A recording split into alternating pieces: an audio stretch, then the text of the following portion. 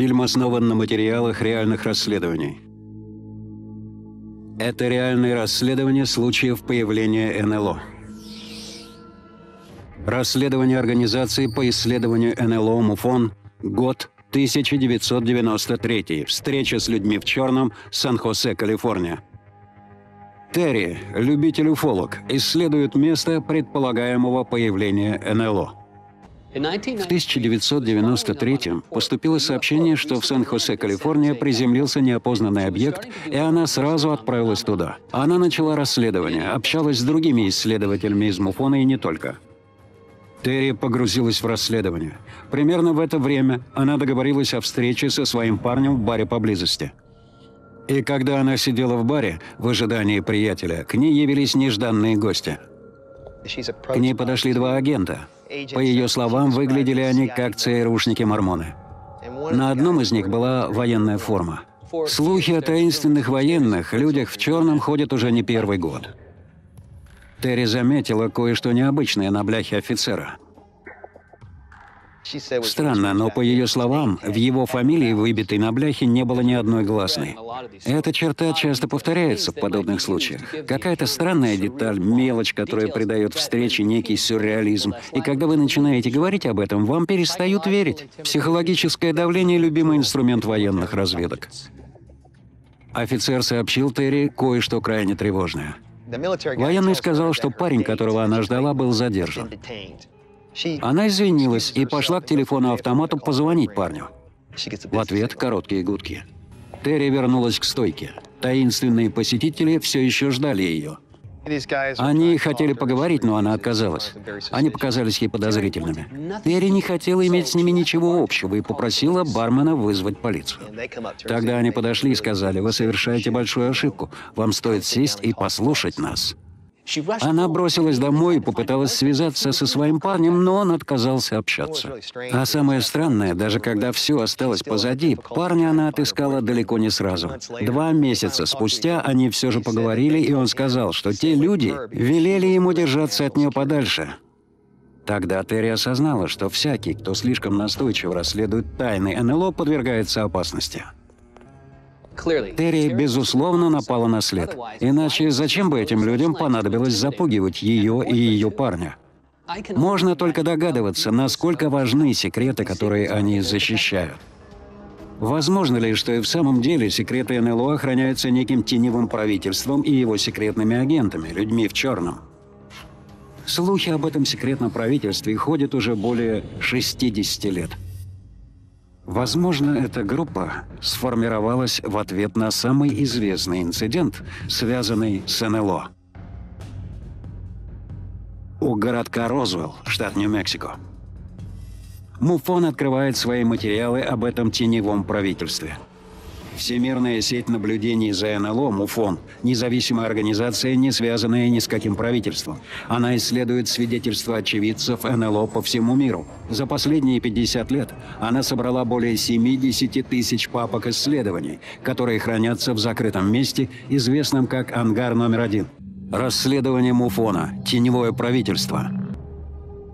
Файлы Муфона из ангара номер один указывают на многочисленные слухи о тайной правительственной организации, которая прячет правду о визитах инопланетян.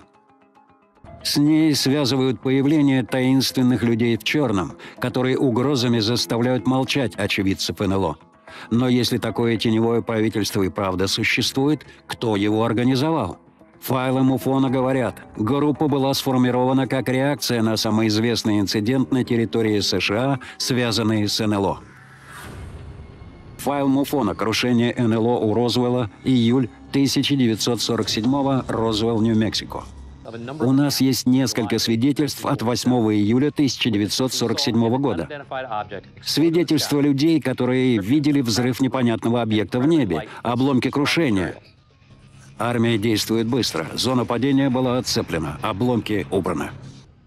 Есть также свидетельства о втором месте крушения, где были найдены тела инопланетян. Имеются зарисовки этих тел, сделанные медсестрой из морга военной базы Розвелла. Слухи быстро распространялись по городу, их подхватила местная газета. В ней было сказано, что по заявлению разведки военной базы Розвелла, цитирую, «сегодня в обед база была захвачена летающей тарелкой». Находка могла иметь далеко идущие последствия. Они немедленно сообщили президенту Гарри Труману. Когда отчет о Розвелле лег Труману на стол, он счел информацию настолько серьезной, что разбираться в ситуации в Розвелле отправил одного из высших генералов, Натана Твайнинга. Мы выяснили, что генерал Натан Твайнинг возглавлял командование материального обеспечения авиабазы Райт-Паттерсон. Тогда она называлась Райт-Филд. Генерал Твайнинг, впоследствии председатель комитета начальников штабов, был героем войны. Он стал начальником отдела исследований и разработок ВВС. Задайтесь вопросом, зачем Твайнингу туда ехать? У нас есть инсайдерская информация, на мой взгляд, правдивая, о том, что, осмотрев обломки крушения в Розвелле, Твайнинг пришел к выводу, что это нечто неземное.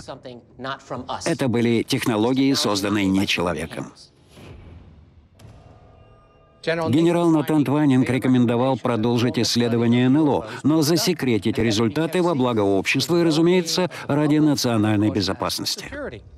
Но проблема в том, что секретность имеет свой движущий момент, свою бюрократию, свою силу. И она временна, иного не дано.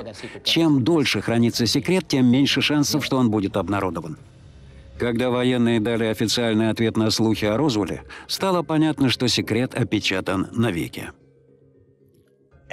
Президент Трумэн постарался скрыть информацию о крушении. Он дал указания генералам высшего звена в Вашингтоне, которые затем проинструктировали генерала Роджера Рейми положить конец слухам. Материальные свидетельства, собранные у Розвелла, были отправлены на авиабазу Райт для изучения в отдел материального обеспечения ВВС. Но по дороге они делали остановку в штаб-квартире Роджера Рейми в Техасе. Именно там были сделаны знаменитые снимки, где бедняга Джесс Марсел, как дурак, держит нечто похожее на аэрозонд из алюминиевой фольги. Этой съемкой Рейми фактически сообщил прессе, что найденное просто метеозонд. Это и стало официальной версией правительства. В Розвилле упал метеозонд. Его просто приняли за нечто внеземное. Конец истории. Но спустя 30 лет после крушения близ Розуэлла заговорил военный, один из участников тех событий. Он подтвердил то, что многие давно уже подозревали. Показания майора Джейсона Марсела. Те снимки были сделаны для прессы, в то время как настоящие обломки увезли на авиабазу Райтфилд. Уфологи говорят, с этого момента правительство начинает утаивать информацию об НЛО. За 50 лет в ангаре номер один собраны сотни документов, которые указывают на теневое правительство, охраняющее секреты об НЛО. Множество свидетелей описывают встречи с таинственными людьми в черном, которые угрозами заставляли их молчать. Сеть Муфон относит создание теневого правительства к 1944 году, когда сообщения о падении НЛО близ Розвелла породили слухи о визите инопланетян. Есть мнение, что президент Гарри Труман счел общество не готовым к подобной информации и для ее сокрытия спешно приказал организовать пресс-конференцию, где крушение близ Розвелла было списано на падение банального метеозонда. Но спустя три десятилетия на авансцену выходит ключевой свидетель событий и ставит под сомнение официальное объяснение – Расследование Муфона. Свидетельство майора Джесси Марсела. В 1980-м, спустя 33 года после Розвелла, вышедший в отставку майор Джесси Марсел заявил, что принимал участие в сокрытии информации. В 1980-м майор Джесси Марсел, офицер разведки с авиабазы Розвелл, признался, что 30 годами ранее ему поручили подменить обломки крушения НЛО на упавший метеозонд для фотосессии, устроенной ради прессы. Те снимки были сделаны для прессы, в то время как настоящие обломки увезли на авиабазу Райтфилд. Для прессы это была точка в истории, но уфологи увидели в этом правительственный заговор молчания об НЛО. Сегодня такая дезинформация воспринимается практически нормой, но это существенный момент. Именно тогда было решено, что общество не имеет права знать правду об НЛО. Однако Муфон располагает документами, которые наводят на мысль, что сокрытие правды о Розвелле имело под собой веские основания. Шла холодная война, и моральное состояние нации было предметом беспокойства, а тут такое. Вот это все. И вам неизвестно, кто эти другие, и каковы их намерения. Вам практически ничего о них не известно, кроме того, что они не мы. Бездна неизвестности. Думаю, именно поэтому правительство уверовало, что информация должна быть засекречена. Возможно, они думали, что, держа нас во мраке, они нас защищают. Задумайтесь, речь идет о предмете с громадным взрывным потенциалом. Самой естественной реакцией общества будет паника. Возникла убежденность, возможно, не без оснований, что общество пока не готово принять правду об НЛО. В 1938 почти за 10 лет до Розвелла, актер Орсон Уэллс прочитал на американском радио постановку по «Войне миров» Герберта Уэллса. Фантастический роман подавался как сенсационная новость о вторжении на Землю инопланетян. И хотя они сказали, что это всего лишь радиопостановка, далеко не все это осознали. Были те, кто подумал, что вторжение марсиан идет на самом деле. И какое-то время продолжалась самая настоящая паника. Эта радиомистификация породила волну паники не только в США, но и в других частях мира. Несколько лет спустя эту постановку пустили в эфир в Кито, в Эквадоре, не предупредив, что это вымысел. Огромные толпы наводнили улицы, началась паника, в давке погибло несколько людей. Большинство из нас живет в некотором пузыре, который считает реальностью, в который не проникает ничего извне. А что, если такое случится? Ваша реальность Баха разлетелась на куски. Думаю, на ранних этапах те люди, что принимали решения по национальной безопасности, оправдывали свои действия тем, что мир пока не готов узнать об этом. И случай в Розвелле ярко показывает все те причины, почему информацию об НЛО было необходимо скрывать. Сразу после Розвелла президент Труман издал несколько директив для сокрытия информации об НЛО. Тем самым был создан прообраз теневого правительства. Это была сверхсекретная закрытая группа под кодовым названием «Маджестик-12». Но хранить такие секреты проблематично. Кроме прочего, Трумэн издал акт о национальной безопасности 1947 года, которым создал ЦРУ — только ЦРУ обладала правом расследовать ситуации, связанные с НЛО. Он также объединил четыре силовых ведомства под единым командованием министра обороны, которым на тот момент был Джеймс Форестел. Это был исключительно умный человек с огромным опытом. Он многое знал и во время Второй мировой выдерживал огромные психологические перегрузки. Файлы Муфона. Джеймс Форестел и Маджестик 12. Вашингтон, округ Колумбия, год 1947. Президент Труман поручает Джеймсу Форестеллу, своему новому министру обороны, создать секретную группу, призванную хранить тайну НЛО. Эта группа, предположительно, и получила название «Маджестик-12». Благодаря утечке информации у нас есть документ, записка президента Гарри Трумана с поручением министру обороны Джеймсу Форестеллу создать группу MJ-12. В записке сказано, по поводу нашего последнего разговора на эту тему, настоящим наделяю вас полномочиями приступить к выполнению вашей миссии со всеми возможными скоростью и осторожностью. Отныне и впредь все связанное с ней получает название «Операция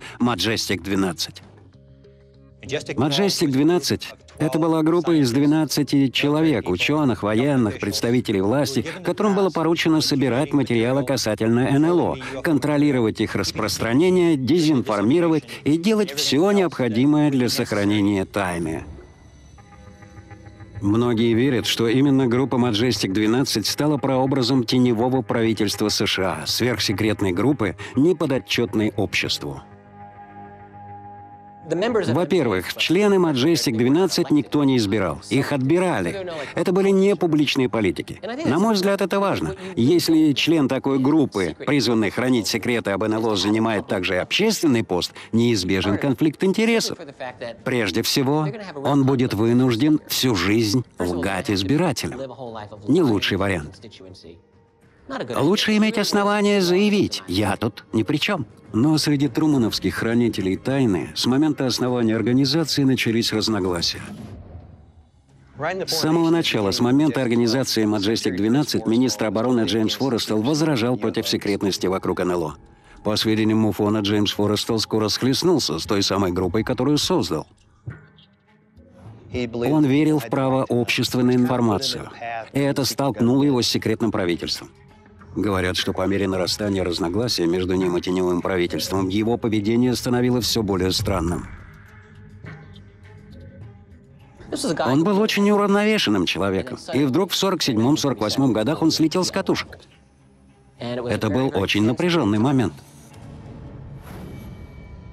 Файлы из ангара номер один свидетельствуют, что падение Форестела могло быть связано с событием, последовавшим сразу за Розвеллом. Файлом Уфона. Вскрытие тела инопланетянина авиабаза Райтфилд, Огайо. Год 1947. Авиабаза Райтфилд. Ходят слухи, что именно сюда привезли тела инопланетян, найденные в Розвелле. Были свидетельства о произведенном вскрытии тел, собранных на месте крушения в Розвелле, и данные о том, что Джеймс Форестел при этом присутствовал. Согласно одному из отчетов, Форестел коснулся тела инопланетянина, лежащего на столе, и сообщил, что при касании у него в голове раздался сильный звон. Впоследствии, как только он приближался к телу, у него начиналась сильнейшая мигрень. Из тех немногих, кто был в той комнате, такой эффект испытал только Форестел. Многие верят, что в результате контакта Форестел необратимо изменился. Он стал развалиной, в психологическом смысле. С ним что-то случилось. Старые знакомые спрашивали, что это с Джеймом, что с ним случилось. Возможно ли, что присутствие Форестела во время вскрытия пришельца привело его к погибели? А в марте 49-го, менее чем через два года после назначения министром обороны США, Джеймс Форестел подает прошение об отставке. И есть теория, что остальные члены группы Majestic 12 забеспокоились о сохранности своих секретов. Форестел был для них отщепенцем. Он отвергал политику полной секретности. Далее мы посмотрим, что бывает, когда один из членов теневого правительства начинает угрожать снять завесу тайны с такого явления, как НЛО. Если одно из первых лиц становится ненадежным, требуются какие-то меры. Угроза секретности была невероятной, поэтому его следовало устранить. А также, сможет ли тайное правительство удержать завесу тайны, если НЛО внезапно появится прямо над столицей? Файлы из ангара номер один свидетельствуют о связи между крушением НЛО в 1947 году вблизи Розвелла и созданием теневого правительства, которое приписывают президенту Гарри Труману. Это была сверхсекретная группа советников, лично отобранных президентом, в число которых, вероятно, входил и министр обороны США Джеймс Форестел. Но те же файлы описывают проблему. Джеймс Форестел вступил в противоречие с группой, которую сам же и создал. Есть предположение, что Форестел был для них отщепенцем. Он отвергал политику полной секретности. Ирония заключалась в том, что вначале он сам их собрал, а потом понял, что контроль над группой потерян, что они стали совершенно неуправляемы. Есть мнение, что нервный срыв Форестела был вызван отчасти его присутствием на вскрытии пришельца, доставленного с места крушения в Розвелле. Файлом Уфона. Расследование дела Джеймса Форестелла. 28 марта 1949 года. Джеймс Форестелл подает прошение об отставке с поста министра обороны.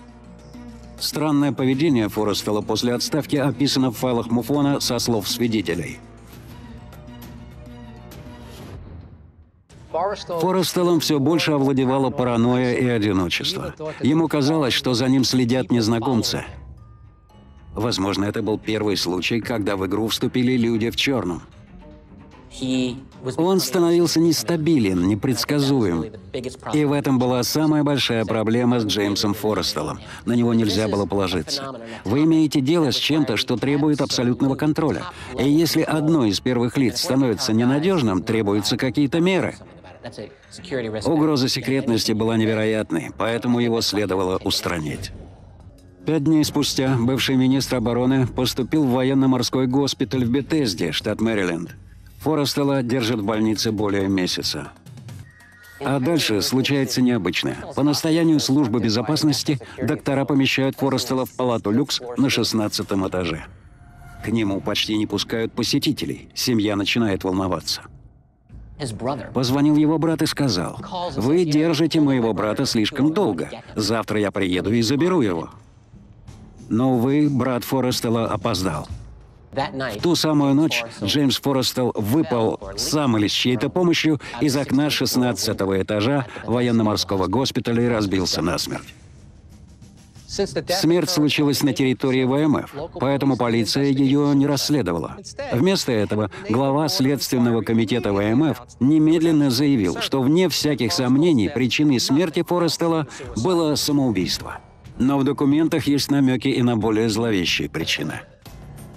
В отчете не упомянуто, что его лечащий врач и ночной санитар в ту ночь отсутствовали, а на подоконнике были обнаружены царапины, что могло быть признаком борьбы.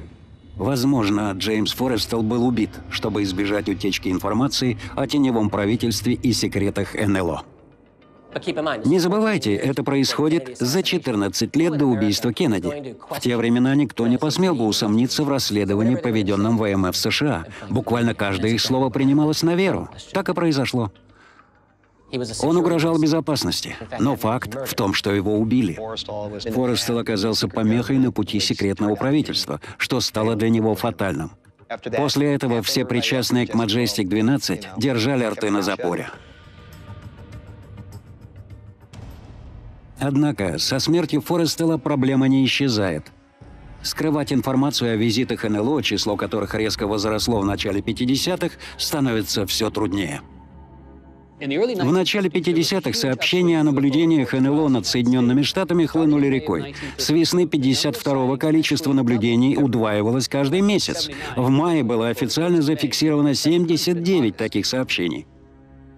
В 1952 для изучения НЛО был создан еще один правительственный орган. Проект получил название «Синяя книга».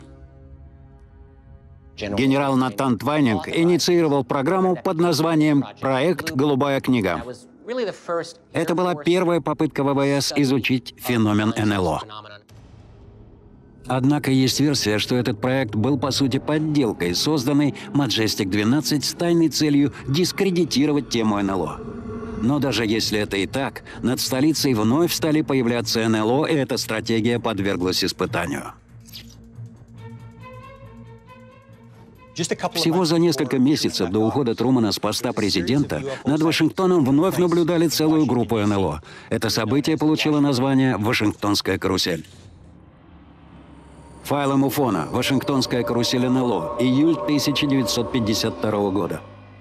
19 июля 1952 года. Авиадиспетчер национального аэропорта в Вашингтоне заметил на своем мониторе семь неопознанных объектов. Диспетчерская Вашингтонского аэропорта сообщает об этом на авиабазу «Эндрюс». Авиабаза сообщила, что также наблюдает в небе непонятную активность, свечение, синие и белые огоньки, огненные шары, расчерчивающие небо. Но прежде чем удалось поднять в воздух хоть один самолет, объекты исчезли. Неделю спустя в небе над Вашингтоном снова появились НЛО. На этот раз военная авиация была в небе.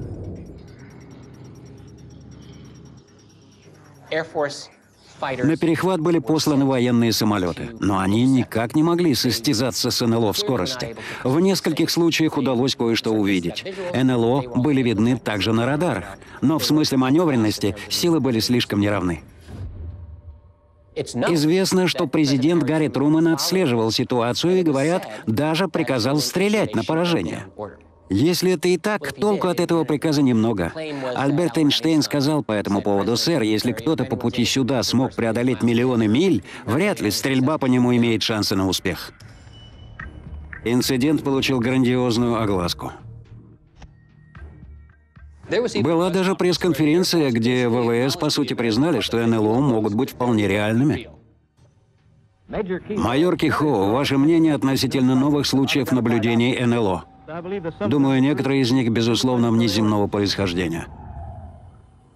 Казалось бы, джина в бутылку уже не загнать, но именно это они и попытались сделать. Был спор, что делать. Замалчивать, говорить людям, что все это ерунда, или признать, что явление существует, и попробовать с ним разобраться. И после Вашингтонской карусели в июле 1952 очевидно решено было замалчивать. По следам этого инцидента президент Гарри Трумэн создает еще один тайный комитет, на сей раз под эгидой ЦРУ. Труман создал то, что известно как Комитет Робертсона. Эта группа в ЦРУ получила задание разработать линию поведения в отношении НЛО. Их вывод такой. Все, что связано с НЛО, следует спускать на тормозах, потому что в результате действительно может начаться паника. Сверху поступило соответствующее распоряжение. И с этого момента их задачей стало объяснять не явление, а то, почему это не НЛО. Когда Труман получил доклад комитета Робертсона, это позволило ему и далее настаивать на соблюдении тайны, что он считал очень важным. Так сформировалась политика замалчивания информации теневого правительства. Но оставалась одна большая проблема — растущее число свидетельств. Среди файлов Муфона описан случай, когда о наблюдении НЛО заявил целый город. Десятки свидетелей видели, как в болотах приземлился куполообразный предмет, будто расчерченный на квадраты. Было проведено расследование. Вывод. Ничего такого не было. Что это? Теневое правительство вновь скрывает правду. Но один из будущих президентов попробует снять завесу секретности. Архивы Муфона из ангара номер один содержат данные о том, как теневое правительство скрывало правду об НЛО. Многочисленные свидетельства тех, кто видел НЛО, заставили правительство создать проект «Голубая книга», призванный исследовать подобные явления. Но есть мнение, что истинная цель проекта «Голубая книга» — утаивать информацию об НЛО. В то время проект «Голубая книга» возглавлял Эдвард Руперт. Был спор, что делать — замалчивать, говорить людям, что все это ерунда, или признать, что явление существует, и попробовать с ним разобраться. Очевидно, решено было замалчивать. Дело из файлов Муфона, 1966 год. Округ Воштонова, штат Мичиган. 14 марта 1966 К шерифу полиции округа Воштона, штат Мичиган, начинают поступать сообщения о непонятной активности в небе. В наших документах о визите НЛО 66 года в Мичиган есть потрясающие свидетельства. Офицеры полиции Батфорд Бушро и Джон Фостер записывают показания о виденных над городом дискообразных предметах. Офицеры выезжают на место и наблюдают НЛО своими глазами. Эти объекты двигались с фантастической скоростью. Мы не имеем ни малейшего представления о том, что это за объекты или откуда они. Это самое странное, что мы когда-либо видели. В офис шерифа поступили звонки из трех соседних округов. Наблюдали это все, но никто не знал, что это. И видели это 6-7 дней. Кульминацией стало наблюдение того, как НЛО приземлялись в болото поблизости. 20 марта Фрэнк Мэннер, его родственники и друзья видели куполообразный предмет, расчерченный на ячейке, со светом по центру и по краям, который сел в болото. Мэннер и его сын пошли на болото искать НЛО. С ними пошли помощники шерифа. Был случай, когда парень по имени Мэннер и его сын отправились на болото ловить НЛО. И увидели, как НЛО медленно всплывает прямо над их головами а потом рывком уходит в небо. Другими свидетелями были офицеры полиции, их потрясла маневренность НЛО. Местные власти доложили о наблюдениях НЛО военным. И что сделали ВВС? Отправили в Мичиган своего ведущего эксперта, астронома Алина Хайнека, который провел пресс-конференцию. Доктор Хайнек проводит свое расследование и представляет весьма неоднозначные выводы. Сидя перед камерами и микрофонами, Хайнек заявил, Похоже, это просто оптическая иллюзия, причиной которой является гниение органических веществ в болоте. Иначе говоря, это был болотный газ. Так он сказал. Болотный газ. Эти НЛО наблюдало множество людей по много часов в течение нескольких дней. А тут является правительственный эксперт и без тени смущения заявляет, что все это коллективная галлюцинация. Даже для американской прессы это было чересчур. Болотный газ стал посмешищем. По-моему, именно после этого случая Хайнек задумался, по ту ли сторону баррикад он оказался. Он годами развенчивал мифы об НЛО по заказу ВВС, но в результате сам стал посмешищем. Официальное объяснение не убедило конгрессмена от штата Мичиган, будущего президента США Джеральда Форда. После случая в Мичигане Джеральд Форд, который на тот момент был конгрессменом от штата, заявлял, что объяснение ВВС неудовлетворительно. Он даже потребовал создания комиссии Конгресса для расследования инцидента с вызовом свидетелей и показаниями под присягой. Впервые представитель власти высокого ранга призвал открыть информацию об НЛО. Это было впервые. По требованию Форда был создан официальный комитет по оценке работы проекта «Голубая книга», а также качество проводимых правительством исследований в области НЛО. В этот момент на сцене появляется Эдвард Кондон из Колорадского университета. Он должен был оценить работу проекта «Голубая книга», но по сути его целью было закрыть проект. Проблема с докладом Кондона в том, что он с самого начала не объективен. Послушайте, что он говорит научному сообществу 25 января. Цитата. Неопознанные летательные объекты не относятся к компетенции ВВС. Я намерен убедить правительство не вмешиваться в такие дела. В данный момент я убежден, что все это пустая болтовня. Впрочем, у меня есть еще год на то, чтобы составить мнение. И вновь просматривается стремление теневого правительства скрыть правду об НЛО. И по сей день поступают обвинения в препятствовании исследованиям НЛО. В ход идет все, от угроз и дезинформации до стычек с людьми в черном. Но если правда об НЛО действительно контролируется горсткой избранных, то, возможно, наши раскопки в архиве МУФОН помогут, наконец, раскрыть секреты – столь тщательно скрываемые теневым правительством.